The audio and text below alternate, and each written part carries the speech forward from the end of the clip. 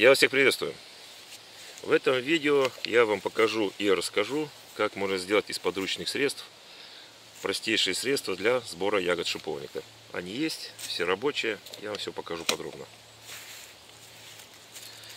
В чем заключается специфика сбора ягод шиповника?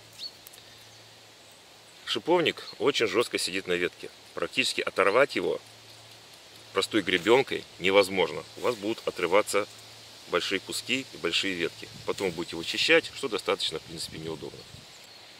Шиповник идеально, конечно, ломается методом надлома.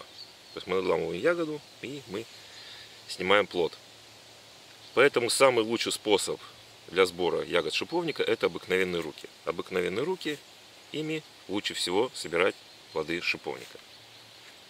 Но бывают случаи, когда мы не хотим собирать руками, нам нужно собрать там одно-два ведра шиповника, больше нам не надо. Так, справка с ведра 10-литрового шиповника получается 2,5 килограмма сухого шиповника, если вы будете сушить. То есть практически семье из 4 человек достаточно 4-5 килограмм шиповника на зиму сушеного.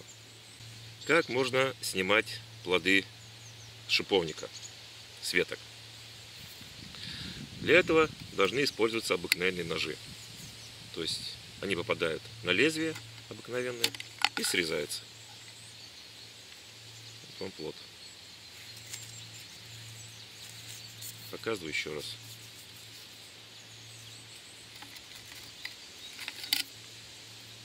Плоды остаются внутри. И очень хорошо срезаются.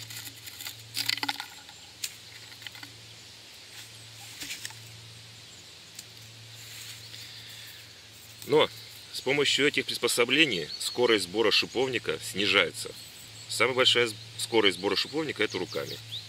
С помощью приспособлений скорость сбора шиповника снижается, но руки у вас будут целы. Сейчас я покажу вам все подробно.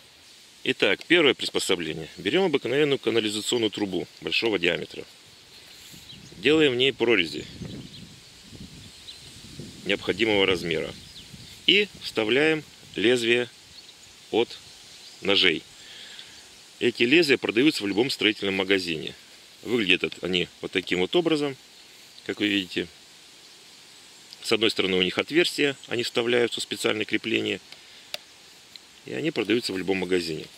То есть мы сюда его просто вставляем, в эти прорези, что достаточно очень удобно. Держится очень хорошо и никуда не вылетает. Можно подстраховать обыкновенной изолентой. Другой вариант. Делаем прорези внутри, как вы видите, прорезь одну. И приставляем сюда лезвие от этих же ножей, так, чтобы они выступали немного и могли срезать ягоды. Сверху в отверстие крепим обыкновенной проволокой, снизу ставим еще одно лезвие. То есть вероятность среза ягод у нас увеличивается. Я вам в самом начале показывал маленький вариант, компактный. То есть делаем то же самое. Берем маленькую трубу канализационную, делаем срез для того, чтобы удобно было захватывать ягоду, и мы видели, какая ягода у нас попадает.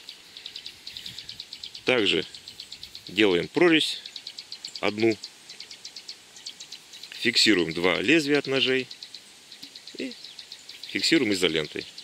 Или можно любым другим способом. И таким вот образом получаем достаточно компактное и удобное средство для сбора ягод шиповника. Срезается все очень достаточно быстро и без проблем. Ягода срезается и попадает в обыкновенный приемник.